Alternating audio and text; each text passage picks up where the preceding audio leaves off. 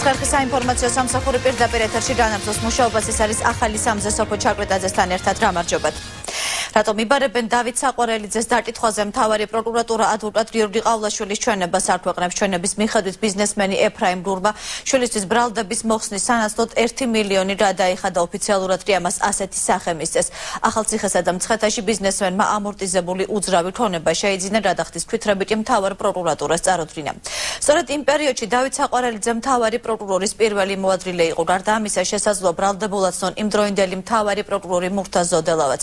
ჩვენების მიხედვით ცოდელავას დავალებით კიდევ ერთ ბიზნესმენს ილია კოკაიას შვილის დათავისუფლების სანაცვლოდ 5 მილიონი გადაახდევინეს აქედან 3 მილიონად მან ახალციხეში ამორტიზებული ფერმის შენობა შეიძინა 2 მილიონი ჭიჭახეთის განვითარების ფონდში გადარიცხა 2011 წლის ივნისის თვეში მე დამიკავშირდა ჩემი ნაცნობი ბიზნესმენი ილია კოკაია და მითხრა რომ მიშულს ნინო კოკაიას თბილისში შეემთხვა ავტოსაგზაო შემთხვევა რის გამოც დაკავებული იყო.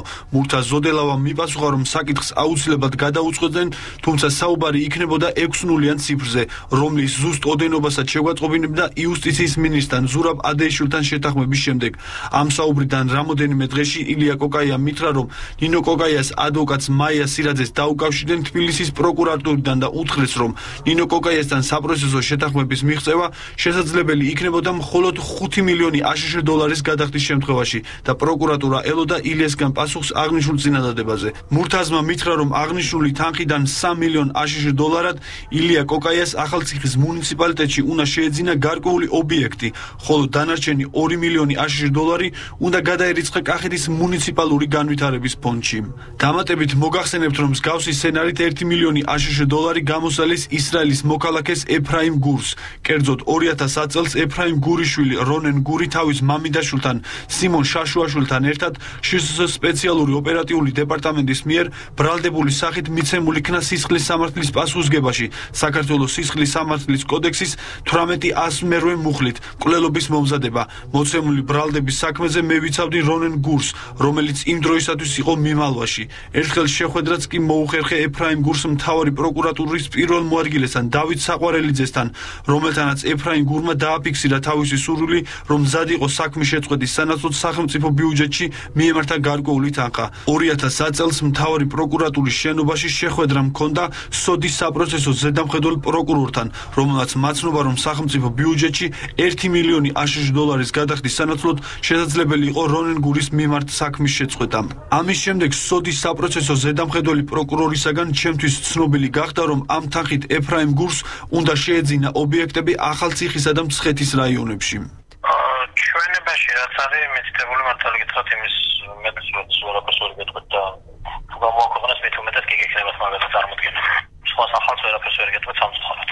გამოძიების ამ ეტაპზე დაგითხული არიან ის ბიზნესმენები, რომლებზეც განხორციელდა ამ სახის იძულება, რათა მათ მიერ შეძენილი ყოფილიყო არარეალურად დიდ თანხებში ბიზნესის წარმოებისათვის აბსოლუტურად გამოუსადეგარი და ამორტიზირებული შენობა ნაგებობები. საყურადღებოა ერთი ფაქტი, კერძოდ ის, რომ ობიექტების შეძენის მომენტისათვის რამოდენიმე ბიზნესმენი იყო პატიმარი. რაც შეეხება თავარი პროკურორის ყოფილი მოადგილის ბატონ დავით საყვარელიძის გამოძახებას, გამოძიების მიერ დაკითხვის მიზნით სწორედ აღნიშნული საკითხების სრულყოფილად შესწავლით ბიზნით იქნა იგი გამოძახებული საგამოძიებო ორგანოში. კერძოდ ერთ-ერთი მოწმის ჩვენებით გინდება რომ 2011 წლის პერიოდში მოხდა შეხვედრა ბიზნესმენ ეფრაიმ გურსა და თავარი პროკურორის ყოფილ მოადგილეს დავით საყვარელიძეს შორის სადაც დაფიქსირდა პოზიცია რომ კონკრეტული სისხლის სამართლის საქმის შეწყვეტის სანაცვლოდ სახელმწიფო ბიუჯეტში უნდა გადახდილიყო ბილიონი აშშ დოლარი. გამოძიების მიერ ამ ეტაპზე დადგენილია სხვა მაღალჩინოსნები, რომლებიც მონაწილეობას ხებულობდნენ კონკრეტული ბიზნესმენებისათვის დიდი ოდენობით თანხების გამოძალვასა და ამ თანხებით, როგორც მოახსენეთ, ამორტიზებული და აბსოლუტურად გამოუსადეგარი შენობა ნაგებობების იზოლებით შეძენაში. ყოფილმა მთავარმა პროკურორმა მურთა ზოდელოვამ ქვეყანა არჩევნების შემდეგ დატოვა დავით საყვარელიძე კი პარლამენტის წევრია. დეპუტატი უკვე რამდენჯერმე დაიბარეს დაკითხვაზე, თუმცა სადამოძიებო ორგანოში ის მისვლაზე ამჯერადაც უარს აცხადებს და ამბობს, რომ დამომძიებლებს პარლამენტში დაელოდება. ოღონდ ვიზიტისთვის არასასესიო დღე უნდა შეარჩიონ. რა მოყვება პროკურატურაში საყვარელიძის რა მოუცხადებლობას მის წინააღმდეგ არანაირი ბერტეტი არ არსებობს. თუმცა იურისტები მიიჩნევენ, რომ საჯარო მოხელე ხელი უნდა შეუწყოს რა მოძიებას მოწმის მხრიდან კი ასეთი განცხადებების დაკეთება არ ამართება. გაკეთებულია.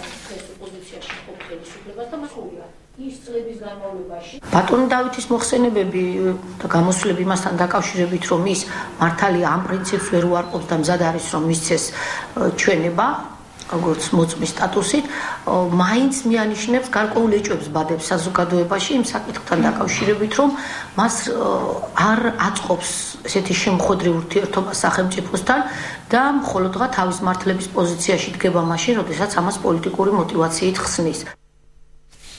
დაინტერესება თუ არა სტოტლანდიარდი ბუტარობათიძის მკვლელობის საქმე ჩინარდან საქმეთა სამინისტროს პრესამსახურის ყოფილი ხელმძღვანელი გურამ დონაძე ბრიტანეთის საელჩოს მიმართავს და ბუტარობათიძის მკვლელობის ადრილას გადაღებული ვიდეო მასალის ექსპერტიზის ჩატარებას სტოტლანდიარდის განითხავს. გარდა ამისა, გურამ დონაძე ვიდეო მასალასთან დაკავშირებით დანართის სახით საელჩოს კითხვებსაც გადასცემს, როგორც დონაძე აღნიშნავს, მას აქვს 16 შეკითხვა ამ მასალასთან დაკავშირებით. დღესვე დონაძემ ჟურნალისტებს კახა აზარიაშვილის განცხადება გადასცა, რომელიც მისი თქმით ბუტარობათიძის მეგობარი მდგომარეა.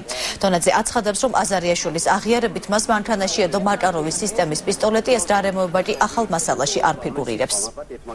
ვეკითხები სკოტლანდიარდის წარმომადგენლობას იქნებ შექმნათ 3D გამოსახულება არსებული მდგომარეობის. იქნებ დაგვითვალოთ რამდენი პირი იმყოფება შემთხვევის ადგილზე. იქნებ დაგვი ფოტოსკანეროთ მათი სახეები, რომ გახდეს უფრო ადვილი ამოცნობა ადამიანების. იქნებ იპოვოთ ის, რომ როდესაც ერთ-ერთ მომენტში კამერა მანქანისკენ იხრება, იქ ავტომატი რომ ჩანს პირველივე წამებში გასროლიდან, ხო?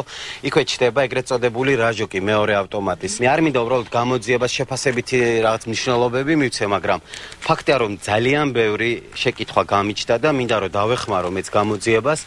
და რა ვიცი, ყველაზე დიდი თხოვნა, ყველაზე ესეთი დიდი მოლოდინი იქნება, რომ ბრიტანეთი შეძლებს დაეხმაროს იმ ადამიანს, რომელიც არის დღეს ბრალდებული ქვეყნის საჯაროო პოლიტიკის ძირითად მიმართულებებთან დაკავშირებით პარლამენტის რეზოლუციის პროექტი უკვე მზად არის. პროექტი გუშინ საღამოს გადამუშავდა და ამ პროცესში უმცირესობის წევრობის ჩაერთნენ. რეზოლუციის პროცესში ჩაწერილი პუნქტები 19-მდე დაიზარდა. რა სახით გადაეცემა პარლამენტს განხილვისა და კენჭისყრისთვის ეს დოკუმენტი? ამას ახლა მირიან გორგოძისგან შევიტყობთ. ჩვენი საპარლამენტო კორესპონდენტი გვერდება ქუთაისიდან პირდაპირ ეთერში მირიან მოგესალმებით. ეხ მე ხა ხელში მიჭირავს ის საინფორმაციო ფურცელი, რომელიც ჟურნალისტებს დაგვირიგდა იმ საგანგებო ბრიფინგზე, რომელიც უმრავლესობის წევრებმა გიორგი ვოლსკიმ და გიორგი ვოლსკიმ და ზვიად კვაჭანტირაძემ გამართეს, ვინაიდან ფრაქციებს შორის შეთანხმება ვერ მოხერხდა უმცირესობის მხრიდან. ერთობლივი თანამშრომლობის სურვილის არქონის გამო, პარლამენტის ბიურო მიიღო გადაწყვეტილება და დოკუმენტის ინტერფრაქციული შეთანხმების ფორმა შეცვალა პარლამენტის რეზოლუციის ფორმით, რომელიც განსახილველად და კენჭისყრისათვის წარედგინება პარლამენტის პარლამენტის პლენარულ სხდომას, აი სწორედ ეს წერია ამ საინფორმაციო ფურცელში, ანუ საუბარი არის ქვეყნის საგარეო პოლიტიკის ძირითადი მიმართულების შესახებ შექმნილ დოკუმენტზე, რომელიც საბოლოო სახით ჩამოყალიბდა და შედგება 19 პუნქტისაგან. უმრავლესობის წევრებმა დღეს ბრიფინგზე განაცხადეს, რომ ეს დოკუმენტი პირვანდელი სახით 12 იანვარს შეიქმნა და მას შემდეგ გასულია დაახლოებით 2 თვეზე მეტი და ამ ხნის განმავლობაში უმცირესობა შეეძლო წარმოედგინა საკუთარი შენიშვნები და მოსაზრებები ამ დოკუმენტთან დაკავშირებით, თუმცა უმრავლესობის წევრთა თქმით გუშინდელ დღემდე უმცირესობის წევრებს არანაირი პოზიცია არ დაუფიქსირებიათ და მიუხედავად იმისა, რომ უმცირესობის გარკვეულ ნაწილთან გუშინ გამართა საკმაოდ მნიშვნელოვანი შეხვედრა ამ საკითხზე, მაინც ვერ მიიღო, როგორც უკვე აღვნიშნე, დოკუმენტმა ინტერფრაქციული ფორმა და რეზოლუციის ფორმით გადის დღევანდელ პლენარულ სესიაზე. საკამოთო საკითხი გახდა ეს უპირველესად საპარლამენტო უმცირესობის მხრიდან. ამაზე არაერთხელ უსმენია გარკვეული ეჭვები, შენიშვნები, საფუძვლები და მიუხედავად იმისა, რომ ჩვენ არაერთხელ გამოცხადებია, რომ ეს აბსოლუტურად არ შეესაბამება სინამდვილეს, მსგავს თვითმყოფობას არადა არ მოერგო. ახედა გამომდინარე საპარლამენტო უმრავლესობა არაერთხელ იმუშავა ამ საკითხზე და შემდეგ მივედით იმ გადაწყვეტილებამდე, რომ საგარეო ურთიერთობათა კომიტეტში სულთა პროფესიული თვალსაზრისით გამომდინარე მომზადდა პროექტი დარჩა გარკვეული საკითხები, რომელზეც თანხმობა მიღწეული ვერ იქნა. ეს საკითხები აი ბოლო ვერსიაში რაც თქვენ მაჩვენეთ ნაწილობრივ არის ასევე ასახული ანუ ჩვენ ვფიქრობთ რომ კაფიოთ არის სათქმელი რომ საქართველოს არ გახდება პოსტსაბჭოურ სივრცეზე ისეთი ორგანიზაციების წევრი რომელშიც დომინირებს რუსული პოლიტიკა და რომლის მიზანიც არის ამა თუ იმ ფორმით საბჭოური მემკვიდრეობის შენარჩუნება მოდერნიზაცია კიდევ ერთი მნიშვნელოვანი შეხვედრა, რომელიც სწორედ ამ წუთებში იმართება საქართველოს პარლამენტში, ეს არის საარჩევნო კანონმდებლობასთან დაკავშირებული ინტერფრაქციული, ასე ვთქვათ, ჯგუფის შეხვედრა. ეს ჯგუფი იქმნება საქართველოს პარლამენტში და ამ ჯგუფის შემადგენლობაში შედის როგორც საპარლამენტო უმრავლესობისა და უმცირესობის წარმომადგენლები, ასევე არასამთავრობო სექტორის წარმომადგენლები, ასევე არასაპარლამენტო პარტიების წევრები. დღეს არის პირველი სამუშაო შეხვედრა ამ ჯგუფმა უნდა იმუშაოს საარჩევნო სამშენებლო კანონმდებლობის რეფორმირებისათვის და დახვეწისათვის ძირითად შესაძლებელ საკითხებს რაც შეეხება რაზე ჯგუფი სამომავლოდ იმუშავებს ეს არის ძირითადი პრინციპები ამომრჩეველთა სიები ამომრჩევლის მოსყიდვა და პარტიების საარჩევნო სუბიექტების დაფინანსება ადმინისტრაციული რესურსების და საბიუჯეტო თანხების გამოყენების აკრძალვა. საუბარია იმის შესახებ რომ 2013 წლის 31 მაისამდე უნდა დასრულდეს პირველი 6 საკითხზე პოზიციების შეჯერება და მათი პარლამენტში ინიცირება ამ ჯგუფის მუშაობის შესახებ დღეს განცხადება გააკეთა ჟურნალისტებთან საქართველოს პარლამენტის თავმჯდომარემ დავით უსუფაშვილმა და თქვენ შეგიძლიათ ეს განცხადება პირდაპირ ეთერში მოისმინოთ. მნიშვნელოვანია ის რომ ჩვენ მოვახდინოთ საარჩევნო კანონმდებლობის კიდევ უფრო დახვეწა იმისათვის რომ მომავალში აღარ იყოს კითხვები კანონებთან დაკავშირებით სხვა სხვა მექანიზმებთან დაკავშირებით და გავაგრძელოთ ის ტრადიცია რომელიც დავამკვიდრეთ ასე ვთქვათ ამ წინ არჩევნებზე მაღალი შეფასებები საქართველოსში ამ პროცესის. კარგი იქნება თუ კი იქნება კონსტრუქციულობა ჩართულობა და ობიექტური გადაწყვეტილება საქართველოსში დასრულდება ის აურზაური, რაც ყველა არჩევნებს ახლავს ხოლმე თან, იმ თვალსაზრისით, რომ ყოველი არსებული ხელისუფლება ცდილობს თავის თავზე მოერგოს კანონმდებლობა და უზრუნველყოს საკუთარი წარმატება. ჩვენ დღეს ინტერფრაქციული ჯგუფის ფორმატში, სადაც მოწვეული არიან არასაპარლამენტო პარტიების წარმომადგენლები, კვალიფიციური პარტიების, არასამთავრობო სექტორის წარმომადგენლები, საერთაშორისო ორგანიზაციების წარმომადგენლები, შევთანხმდით, რომ უნდა შევქმნათ უმაღლესი სტანდარტის კანონმდებლობა საქართველოში. რაც შეეხება უკვე დღევანდელ დღის წესრიგს და საქართველოს პარლამენტში გასამართ სხვა აღონიზიებებს, მე შეგახსენეთ, რომ დღეს საქართველოს პარლამენტში უნდა გამართოს პლენარული სესია, რომელიც 4 საათისთვის დაიწყება. დიდი მადლობა ეს იყო მერიან ბორბოძე ქუთაისიდან და ქუთაისში დამგზავრებას ჯერმავს შინაგან საქმეთა მინისტრი ირაკლი ღარიბაშვილი საპარლამენტო უმცირესობის მოთხოვნას დაეთანხმა ის პარლამენტში მივა. რუსულ ბაზარზე კი ქართული ალკოჰოლური და უალკოჰოლო სასმელების დარდა შესაძლოა მალე ქართული პროდუქტებით გამოჩნდეს ინფორმაცია ამის შესახებ ჟურნალისტებს თავრობის დღევანდელი სხდომის დასრულების შემდეგ სოფლის მეურნეობის მინისტრმა მიაწოდა. თამარ გოგესაშვილი უფრო დეტალურად მოგვიყვება დღევანდელი სხდომის შესახებ თამარ. თავრობის სხდომა კანცელარიაში უკვე დასრულდა რის შემდეგაც მინისტრთა კაბინეტის წევრებმა განცხადებები გააკეთეს შინაგან საქმეთა მინისტრი გამოეხმაურა საპარლამენტო უმცირესობის მოთხოვნას მინისტრის პარლამენტში. მისვლასთან დაკავშირებით ირაკლი ღარიბაშვილის განცხადებით ის მზად არის მივიდეს. პარლამენტში თუმცა ეს ვერ მოხერხდება. მიმდინარე კვირას მისი დაძაბული სამუშაო რეჟიმის გამო. აწერილი იყო წინასაკი ჩემი გრაფიკი შეხვედრების განრიგი. მე ვერ მოვახე ფიზიკურად ჩასულ პარლამენტში მაგრამ მე არასდროს არ მithქონს რომ მე არ მივალ პარლამენტში. მე პარლამენტს პატივს ვცემ და რა თქმა უნდა მივალ ერთ-ერთი მნიშვნელოვანი საკითხი, რომელიც დღევანდელ სხდომაზე განიხილეს, ენერგეტიკის მინისტრმა წარადგინა მთავრობამ ელექტროენერგიის შეუზღუდავი გადაცემის თაობაზე იმსჯელა და საამისოდ შესყიდვების სპეციალური წესი დაამტკიცა კახიკალაძის განცხადებით იმის გამო, რომ ენგურჰესის ნაწილი მდებარეობს ოკუპირებულ ტერიტორიაზე, ტენდერში გამარჯვებულ კომპანიებს ხშირად პრობლემები ექნებოდა საგადასახადო სისტემასთან დაკავშირებით სპეციალური წესის დამტკიცების შემდეგ კი ეს პრობლემა გადაწყდება. საკითხი საკითხი კი აფხაზურ მხარესთან არის შეთანხმებული. გარკვეულ პროდუქტზე მოგეხსენებათ ენგურგესის ხუთი აგრეგატი მდებარეობს ოკუპირებულ ტერიტორიებზე ტერიტორიაზე და იქ გარკვეული პრობლემებია შესყიდვების განხორციელების კუთხით.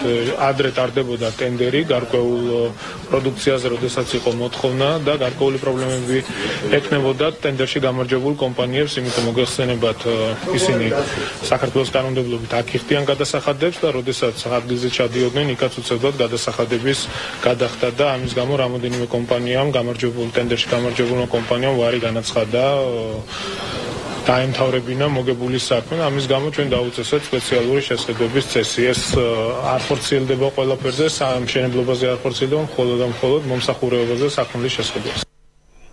სოფლის მეურნეობის მინისტრმა კომენტარი გააკეთა. ქართული პროდუქციის რუსულ ბაზარზე გატანასთან დაკავშირებით დავით კირვალიძის განცხადებით რუსული მხარე უკვე 18 მარტიდან ელოდება. ქართულ დელეგაციას მოლაპარაკებების მთავარი თემა კი ღვინის გარდა სხვა ქართული სასოფლო სამეურნეო პროდუქტების რუსულ ბაზარზე გატანა იქნება 18 რიცხვიდან მეორე დელეგაცია საქართველოსთან გაემგზავრება მოსკოვს ესაბამის სამსახურთან როსელხოს ნაძორთან შეხვედრისთვის და სადაც განიხილება სწორედ აი ეს თლიანი სასოფლო სამეურნეო პროდუქციის სპექტრი რუსეთის ბაზარზე დასაბრუნებლად. ისიც იცით ალბათ რომ 25-ისთვის ღვინისა და მინერალურ წყალთან დაკავშირებით მეორე ჯგუფი ჩამოვა რომელიც დარჩენილ ქარხნებს მოინახულებს და დაამთავრებს თავის ინსპექტორებს. დღევანდელ ხდომაზე სულ 19 საკითხი იქნა განხილული, მათ შორის ერთ-ერთი იყო საიდუმლო მედიის დიდი ინტერესის მიუხედავად ხდომის დასრულების შემდეგ მინისტრთა კაბინეტის წევრებმა ეს საკითხი არ გაიგო. დიდი მადლობა ეს იყო თამარ გორდესაშვილი. შინაგან საქმეთა სამინისტროს ბალანსზე არსებულ ზვირადღირებულ ავტომობილებს აუქციონზე ხელმეორედ რაიტანენ აუქციონის ვადარგუშინ 12 საათზე დასრულდა აუქციონში მონაწილეობა არავის მიუღია და ავტომობილის შეძენის სურვილიც არავის გამოუთრომს. ფინანსთა სამინისტროს მომსახურების სააგენტომ შინაგან საქმეთა სამინისტროს ბალანსზე არსებული 50-მდე ზვირადღირებული ავტომობილის აუქციონზე გატანის შესახებ განცხადება დასული წლის 24 დეკემბერს დააკეთა ავტომობილების ფასები 18 და 55000 დოლარის ფარგლებში ამომდევნო აუქციონი აუქციონი 10 დღის ვადაში უნდა დაინიშნოს. არც ერთი მანქანა არ გაიყიდა, არ შემოვიდა განაცხადები. ჩვენ დაახლოებით ალბათ 10 დღე ორი კვირა დაგჭირდება იმისათვის, რათა შევისწავლოთ ხელახლა, შევაფასოთ ავტომანქანების სპეციალისტებმა ნახონ და როცა ფასებში გავერკვევით, ალბათ ხელახლა გამოცხადდება აუქციონი. კარგი იქნება თუ ქვემო ქართლის გუბერნატორის საბიუჯეტო კანონმდებლობაში დაერკვევა. ასე გამოეხმაურა ფინანსთა მინისტრი მთავრობის ხდომის დასრულების შემდეგ ტირკიტაძის განცხადებას მე შედახსენებთ გუბერნატორმა რამდენიმე საათის წინ განაცხადა რომ ბიუჯეტში 800 მილიონი ლარია თავისუფალი და ეს თანხა ვაუჩერის სახით უნდა დაურიგოს რუსთავის მოსახლეობას. ტირკიტაძე აცხადებს რომ ფინანსთა სამინისტროსთან მიღებულ უარის წერილს ისინი მოსახლეობას დაურიგებენ. მე შედახსენებთ რომ 300 ლარიანი ვაუჩერის მოთხოვნით გუბერნატორის ადმინისტრაციამ 20000 ხელმოწერა შეაგროვა და სახელმწიფო კანცელარია სანიტარიაში ჩააბარა, რაზეც ფინანსთა სამინისტროსთან უარი მიიღო. დემოკრატიის გუბერნატორს უთქვამს, რომ ბიუჯეტში 800 მილიონი ლარიაო თავისუფალი სახსრებიო და დაარიგონ ვაუჩერებიო. კარგი იქნება თუ გუბერნატორი გაერკვევა საბიუჯეტო კანონმდებლობაში და ერთმანეთისგან გაარჩევს ბიუჯეტში გათვალისწინებულ ხარჯებს და თანხას, რომელიც ამ ხარჯებისთვის არის გათვალისწინებული. ეს ხნასთან არის დაკავშირებული და ქალაქში მოგეხსენებათ გარკვეული ცნობილი მიზეზებისას გამო ესეც სამუშაოები ვერ ჩატარდება. ამიტომ მე სხვა ქალაქზე კომენტარისგან თავზე შევიკავებ. ისე როგორც საქართველოს სოფლად მოსხურებებს დღეს ურიგდებათ ვაუჩერები, რომლის მიხედვით ისინი იყენებენ საკუთარი შეხედულებისავე, რუსთავის მოსახლეობასაც დარიგებოდა მსგავსი. ჩვენ ამის შესახებ მიმართეთ საქართველოს თავრობას, შეგროვდა 20000-მდე ხელმოწერა, რომელიც დაუტოვეთ კანცელარიაში, მაგრამ სამწუხაროდ ფინანსთა სამინისტროსგან ჩვენ მივიღეთ წერილი იმის შესახებ, რომ საქართველოს ფინანსთა სამინისტრო მოკლებულია შესაძლებლობას, რომ დააკმაყოფილოს ეს ჩვენი ინიციატივა. ხმაურის საზოგადოებრივ მაუწყებელში სამეურვეო საბჭოს ხდომა პროტესტის ნიშნად დატოვეს არხის თანამშრომლებმა საბჭომ დღევანდელი ხდომა ამით დაასრულა. მიღებულია გადაწყვეტილება სამეურვეო საბჭო არ გადახედავს საზოგადოებრივი მაუწყებლის დირექტორობიდან გიორგი ბარათაშვილის გათავისუფლების საკითხს. მე შედახსენებ საზოგადოებრივი მაუწყებლის საბჭომ ბარათაშვილი რამდენიმე დღის წინ გენერალური დირექტორის თანამდებობიდან გაათავისუფლა ბარათაშვილმა ამ გადაწყვეტილებას უკანონო უწოდა და განაცხადა რომ ამას სასამართლოში გაასაჩირებდა. ნუცა აბაშიძე აშუქებს მაუწყებლის ერთგვარ განვითარებულ მოვლენებს და მას ახლა პირდაპირ ეთერში ჩავთავთ ნუცა გისმენთ. საინიციატივო ჯგუფის წევრებმა შეხვედრა პროტესტის ნიშნად დატოვეს. პროტესტი გამოიწვია სამეურვეო საბჭოს გადაწყვეტილებამ. სამეურვეო საბჭომ არ შეცვალა გადაწყვეტილება არხის გენერალური დირექტორის გიორგი ბარათაშვილის გათავისუფლების შესახებ და ეს გადაწყვეტილება მათ შემდეგნაირად დაასაბუთეს. მათ ახსნეს რომ არ ქონდათ სამართლებრივად უფლება რომ შეეცვალათ რამდენიმე დღის წინ მიღებული გადაწყვეტილება. გარდა ამისა შეხვედრაზე სამეურვეო საბჭოს რვავე წევრს კითხეს სურდათ თუ არა შეეცვალათ მიღებული გადაწყვეტილება და წევრების აბსოლუტურმა უმრავლესობამ გადაწყვეტილების შეცვლაზე უარი განაცხადა. თუ არ არის აკრძალვა რომ სამეურვეო საბჭო დაუბრუნდეს განხილვას კანონის ამ ამ საკითხისა, ესე იგი დასაშვებია, ხომ? აკრძალვა არის კანონში სადმე? არ არის აკრძალვა. ესე იგი მათ შეეძლოთ დაბრუნება. ბატონმა ლევან კახალაძემ კონსტრუქციული წინადადება შესთავაზა ბოს და თქვა, ну კონსტრუქციული ფორმალურად მინდა ვთქვა, მოდით მაინც შევეკითხოთ მოწვეულ საბჭოს წევრებს, მათგან ორი თუ სამი გვერდთვებოდა Sky 2, Skype-ით და ტელეფონით, რომ არიან თუ არა მზად დაუბრუნდნენ მაინც ამ კანონს. ამ ამ გადაწყვეტილების განხილვას. სამწუხაროდ უნდა გითხრათ და ეს არისო მოულოდნელი ჩემთვის, რომ უმეტესობამ განაცხადა რომ მზად არ არიან. ზოგიერთი მათგანი რომელიც თითქოს მზად იყო და მოვიდა გასახილად, მაგრამ მე რე მიხვდა რომ განხილვა საზრე არ აქვს, თქვა რომ არა ვარ მზად არ განხილვა. უბრალოდ აზრი აღარ ქონდა იქ ყოფნას, იმიტომ რომ ნუ ეხლა როცა არგუმენტი არ აქვს შესაბამისად ატრიალებ ერთი და იგივეს. ერთი და იგივეს მოსმენას აზრი აღარ ქონდა არანაირად ამ არგუმენტებს დაემატა ერთი ისეთი ბრალდება, რომელსაც კვალიფიციური ადამიანი, კვალიფიციური იურისტი არ არ დასაშვებად უბრალოდ არ არაფერ დაუშვებდა აი ამ ამ არგუმენტით ადამიანის განთავისუფლებას. სამსახურიდან ძალიან ისეთი მძიმე რაღაცები მოვისმინეთ კვლავ. კიდევ უფრო დამძიმდა შტაბეჭდილება საინიციატივო ჯგუფის წევრები პარლამენტს მიმართავენ, ისინი მოითხოვენ, რომ პარლამენტმა დაიბაროს სამეურვეო საბჭოს წევრები და ახსნა განმარტება მოითხოვოს გიორგი ბარათაშვილის გათავისუფლებასთან დაკავშირებით, თუმცა სამეურვეო საბჭოს თავმჯდომარე ლევან გახელაძე აცხადებს, რომ პარლამენტს არ აქვს უფლება ახსნა განმარტებები მოითხოვოს სამეურვეო საბჭოს მიერ მიღებული გადაწყვეტილებების შესახებ. ის რომ ყოველწლიურად სამეურვეო საბჭო უგზავნის ანგარიშს პარლამენტს, პრეზიდენტს და მარეგულირებელ კომისიას, ეს იმას არ ნიშნავს, რომ ის აბარებს ამ ანგარიშს, ის უგზავნის, ანუ ცნობად ატყობინებს. გავრცელებული იყო ინფორმაცია თავითვე არასწორად, არ ვიცი ვინ არის წყარო ამ ინფორმაციის მეაყოფილო, რომ თითქოს გადაიხედებოდა გადაწყვეტილებები. საქმე ის გახლავთ და ეს განემარტავთ საინიციატივო ჯგუფის წევრებს, რომლებიც იმყოფებოდნენ, რომ დღეს მოქმედი საქართველოს კანონმდებლობა არ იძლევა იმ საშუალებას, რომ ასეთი გადაწყვეტილების გადახედვა მოხდეს უბრალოდ კანონმდებლობაში არ არის ჩადებული მსგავსი მექანიზმები. საინიციატივო ჯგუფის წევრები სასამართლოს მიმართავენ, თუმცა ისინი აცხადებენ, რომ მიმდინარე მოვლენები არ აისახება არქის მაუწყებლობაზე, საზოგადოებრივი მაუწყებელი ჩვეულ ჩვეულ რეჟიმში განაგრძობს მუშაობას. ჩვენთან განცხადება გააკეთა არქის ყოფილმა გენერალურმა დირექტორმა გიორგი ბარათაშვილმაც, მან ასევე განაცხადა, რომ საინიციატივო ჯგუფისგან დამოუკიდებლად ისიც აპირებს სარჩელი შეიტანოს გაიტანოს სასამართლოში. თუმცა მიუხედავად ამ მოვლენებისა, არხზე კონკურსი ახალი საზოგადოებრივი საზოგადოებრივი მაუწყებლის ახალი გენერალური დირექტორის არჩევისთვის გრძელდება. საბუთების შეტანის ბოლო ვადაკი 14 მარტს იწურება. ფინანსთა სამინისტროს საგამოძიებო სამსახურის თანამშრომლებმა თურქეთის ორი მოქალაქე დააკავეს დაკავებულებმა თურქეთის რესპუბლიკიდან სარფის სასაზღვრო კონტროლის ზონის გავლით საქართველოს ტერიტორიაზე ყალბიფული 2000 თურქული ლირა და 2500 ამერიკული დოლარი დასაღების მიზნით შემოიტანეს. ფინანსთა სამინისტროს საგამოძიებო სამსახურის პრესამსახურის ხელმძღვანელის განცხადებით მიმდინარეობს გამოძიება და დაკავებულებს 4-დან 7 წლამდე პატიმრობა ემუქრებათ გასაღებას გამოძებით დადგინდა, რომ აბუ ბექარ ბილგიჩმა და ოსქან ოსთურქმა თურქეთის რესპუბლიკიდან სარფის სასაზღვრო კონტროლის ზონის გავლით საქართველოს ტერიტორიაზე რეალიზების მიზნით შემოიტანეს ყალბიფული 2000 ლირა და 2500 ამერიკული დოლარი. მიმდინარეობს გამოძიება საქართველოს სისხლის სამართლის კოდექსის 212 მუხლის პირველი ნაწილით, რაც ითვალისწინებს თავისუფლების აღკვეთას 4-დან 7 წლამდე ვადით.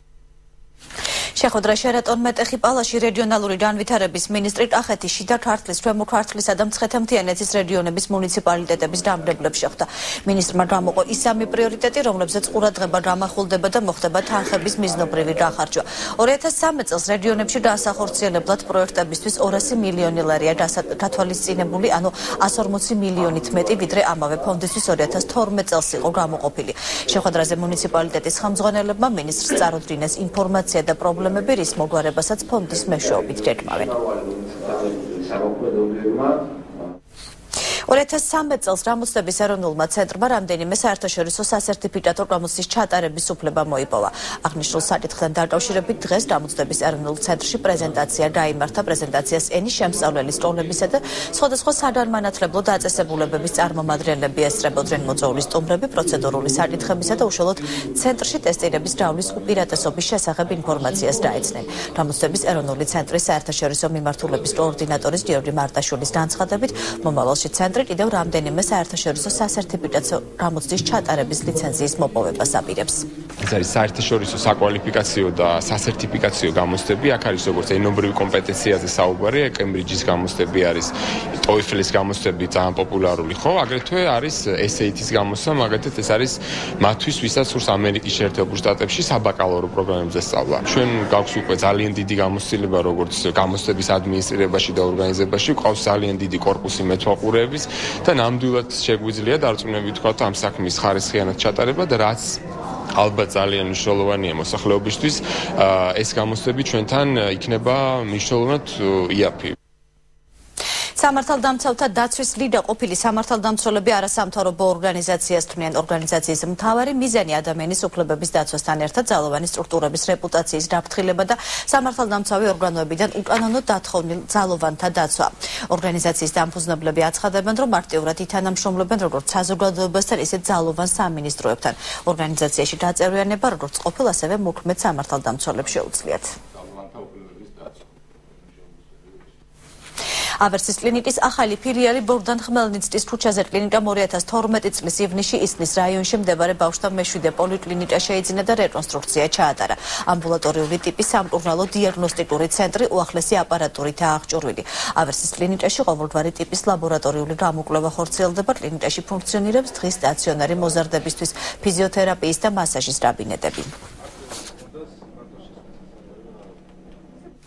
საქართველოსი ევროკავშირისა და შვედეთის საერთაშორისო განვითარების სააგენტოს წევრების არტიჭალი საზოგადოებრივ ცენტრს სტუმრობდნენ სააგენტოს წევრები ცენტრის სტრუქტურის მუშაობის სპეციფიკას დაეცნენ საერთაშორისო საზოგადოებრივი ცენტრი რამდენიმე თვე ფუნქციონირებს სადაც სოფლის მოსახლეობა სახელმწიფო და კერძო სექტორის მომსახურებით სარგებლობს. სერვისების განვითარების სააგენტოს ინიციატივა რომლის პარკლებში აღნიშნული ცენტრი აშენდა თვითმმართველობებში ელექტრონული მომსახურების განვითარებას ისახავს მიზნად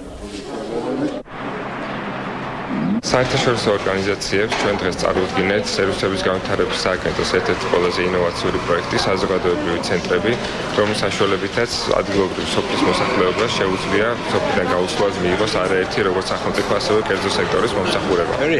მოხარული ვარ სარტიჭალის საზოგადოებრივ ცენტრში ჩამოსვლით. ნახე რომ გამართულად მუშაობს.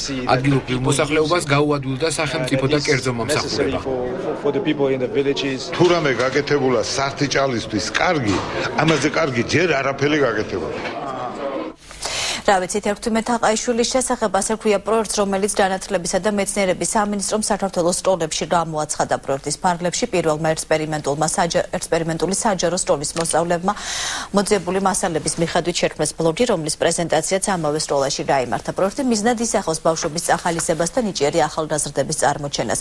მიმდინარე წლის 3 იანვარს 11 თაყაიშვილის დაბადებიდან 150 წელი შესრულდა. იუნესკოს ეგიდით 2013 წელი 11 თაყაიშვილის საიუბილეო წლად გამოცხადდა გამარჯვებულს 20 მარტს გამოავლენენ, რომელსაც განათლების სამინისტრო პრიზებს გადასცემს. შეესწავლათ ეს ადგილი. ჩვენ სკოლა მიიღო ამ კონკურსში მონაწილეობა, შევქმნით ბლოგი 11 აყაიშვილის უცნობი, ასე ვთქვათ, ბიოგრაფიული მასალების შედეგად დღეს ჩვენ სკოლაში დაიგეგმა ამ ბლოგის პრეზენტაცია და შემდეგ ეს გაეგზავნა განათლების სამინისტროს კონკურსში მონაწილეობის მისაღებად. ჩვენ იმიტომ ვიღებთ მონაწილეობას, რომ ჩვენ გვაქვს სურვილი გავეცნოთ მის ბიოგრაფიას დაწურვებით, აგრეთვე ჩვენ გვაქვს ცნობები, რომლებიც უცნობია საზოგადოებისთვის და რომლებიც შენახული იყო საგულდაგულოდ არქივებში.